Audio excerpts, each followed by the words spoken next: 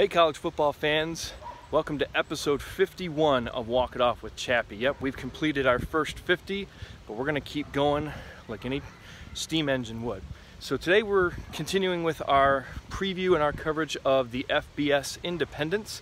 We're going to look at a team that has been pretty good in the last three seasons anyway as an independent, the Liberty Flames. Now, this will be their last year as an independent. They start Conference USA in 2023, but you look at what Coach Hugh Freeze has done there in those last three years eight wins, 10 wins, eight wins. So you're looking at a team that has won 26 games with an independent schedule, which is pretty much half and half.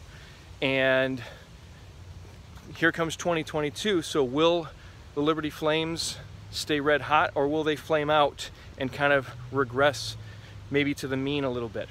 Well, let's look at their offense. You lose Malik Willis, and everybody's going to point to that. They bring in Charlie Brewer from the transfer portal, who was at Utah for a couple weeks into the regular season and then decided to leave the program, enter into the portal. But let's not forget, he started 39 games at Baylor and was really a star for that Baylor team in his time there.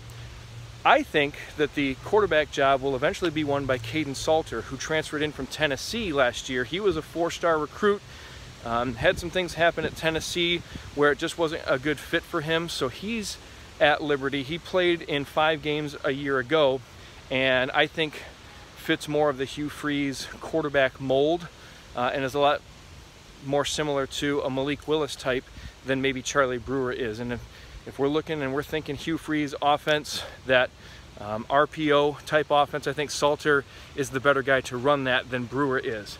In the backfield, they're very excited about the addition of Dae Dae Hunter from Hawaii, guy who averaged 5.7 yards per carry on the ground last year. And then you've also got TJ Green, who was Liberty's second leading rusher a season ago, averaged 5.4 yards per carry. He was another guy who transferred in from Utah a couple seasons ago and gives him a, a good back. He might even be the starter over Hunter. And then don't forget about Shedro Louis also. He's an elusive player in the open field, good receiver out of the backfield, but he also averaged 5.6 yards per carry when they handed the ball off to him. He's also a dynamic kick returner in the special teams game. Liberty will also be helped by returning four of their top six receivers, and it starts with Demario Douglas, 52 catches, 13 and a half per reception and six touchdowns a year ago. Also a very good punt returner, took one uh, to the house for a score in 2021.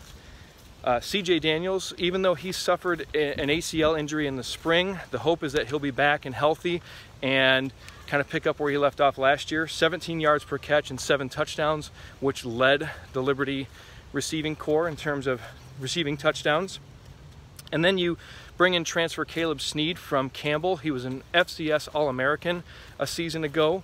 Uh, ironically, that's who Liberty played in their opener last season.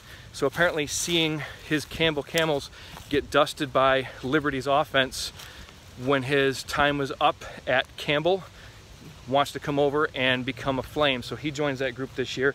And they also get back CJ Yarbrough, who sat out last season. But in his first two years in Lynchburg, he has averaged over 17 yards per reception. So dynamic playmakers there. They also think that their tight end will uh, have a, a breakout year. And you can expect a lot of points and you can expect good passing offense from a Hugh Freeze directed corps. Up front, they do return three starters, uh, Schlittler, Gadlin, and McCaw. They bring in Cam Reddy to fill in at center. He's a transfer from Colorado State, played the last two years out there in Fort Collins. He was at Boston College before that, and they also bring in Nasir Watkins from the transfer portal from Kentucky. So you're looking at five offensive linemen who are either experienced or came out of high school with some pretty good touting. Going to the defensive side. Now, this is a defense that was pretty good last year. And by pretty good, I'm really underselling it. They were very good. Big problem is they lose their commander, Scott Symons. He left to be the defensive coordinator under Rhett Lashlee on the SMU staff. So Freeze promoted from within, and they're going to have actually co-defensive coordinators this year, but listen to these numbers from Liberty's stop squad in 2021. They were top 30 in third down defense, red zone defense, total defense, scoring defense, pass efficiency defense, sacks and tackles for loss. And of all those, they were top 15 in red zone defense, tackles for loss, and total defense. So two pretty important categories when you're looking on that side of the gridiron, total defense and red zone defense. They were among the top 15 best in the nation. Another problem, aside from losing Symons, is they have to replace four of their front six two guys on the interior and both linebackers. But the two guys that return, Treshaun Clark and Durrell Johnson at defensive ends, pretty good at getting after the quarterback, even though Johnson kind of tailed off last year. So in 2020, that magical 10 win season where Liberty was a single point away from an undefeated 11 0 regular season, um, Johnson had eight and a half sacks and 11 and a half tackles for loss. Last year he had zero sacks and just six tackles for loss. So if he can regain and get back to his form, that's going to be a good pairing. Kendi Charles played considerably well as a freshman last season. He moves into a starting role at that nose tackle position. And they also got a couple big beefy guys from Auburn in the transfer portal. Uh, Jay Hardy is one of those guys looking to step in and play opposite Charles on that front. They got a, a pretty good JUCO linebacker, Mike Smith, who will step in at one of those inside backer positions. Perhaps their defensive MVP is Javon Scruggs, who plays that rover position. So, in addition to being a solid tackler and a pretty good pass defender, he had six pass breakups a year ago. He's a, a general out there, gets guys in position and is aggressive and just displays all the characteristics and traits that you want to have from your defensive leader.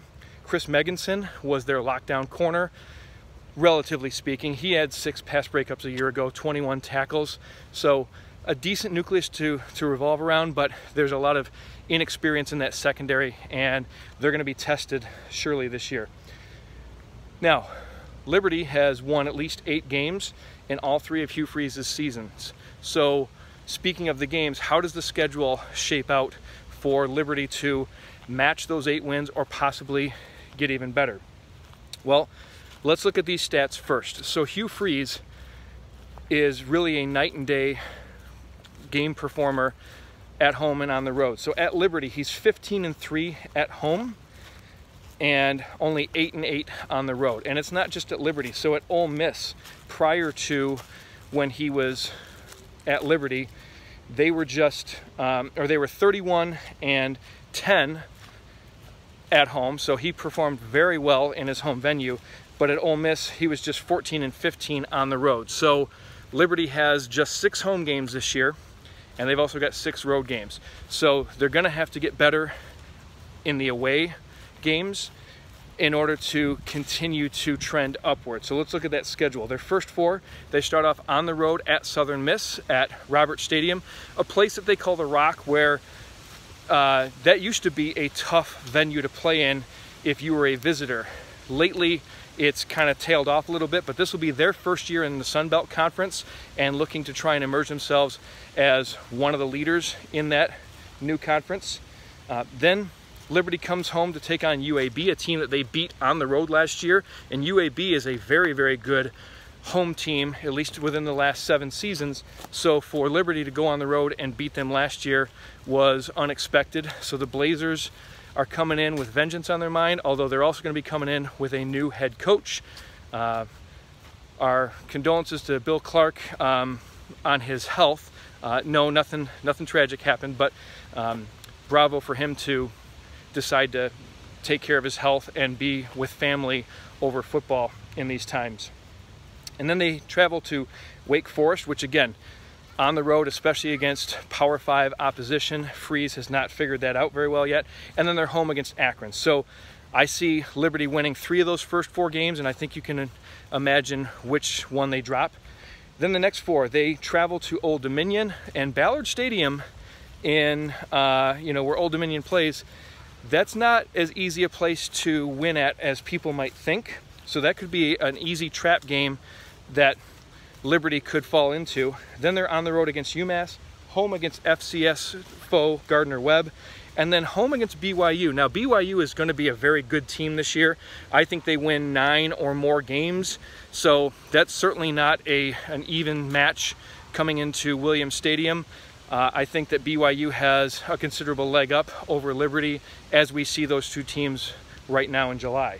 Then there's a bye, and then after the bye, so they play BYU, they have a bye week, and then they have to travel to Fayetteville, Arkansas to take on an Arkansas team that also is going to be pretty good this year, most likely nine wins or better. Then they're on the road at UConn, home against Virginia Tech, where Hugh Freeze has already beaten the Hokies back in 2020 on the road. So getting Virginia Tech under this new coaching staff under Brent Pry, um, I think that that's going to be a more winnable game than their home match against BYU a couple weeks prior. Uh, but still kind of a toss-up game as we look at it right now. And then they finished the year at home against New Mexico State, who also is bringing in a new coaching staff, Jerry Kill. But again, that's going to be at the end of November, the final game of the season. So we'll have a better idea of where both of these teams are. So looking at that schedule, I'm calling for a 7 and 5 season for the Liberty Flames, going 0 and 4 against those Power 5 teams that I mentioned. So I see wins against Southern Miss, UAB and Akron, UMass, Gardner-Webb, UConn, and New Mexico State. So winning all the games they're expected to. And yeah, they might um, spring a slight upset and defeat a BYU team or a Virginia Tech team. I think Virginia Tech is more likely for them to win than BYU, but I could be proven wrong. Um, but I think going to Wake Forest, especially in week three, Wake Forest is going to have a good team, and Sam Hartman is going to give problems to that um, broken in or that, that still breaking in secondary for Liberty. And then Arkansas, I think, will also create issues for this Liberty team. So again, seven and five, not too bad. Um, and they're getting ready to trans transition into conference play when they join Conference USA next year, where I think that they should be a player right away and one of the leading contenders for a conference championship in the CUSA in 2023. So tell me what you think, Liberty fans, and continue to spread the word and share all the good that you see from my Twitter feed at ChappyCFB. Also check out the website, cfpcollegefootball.com, where I'll be releasing my official independence uh, preview and picks in order of finish very shortly. I'm Chappy, and this is what I know.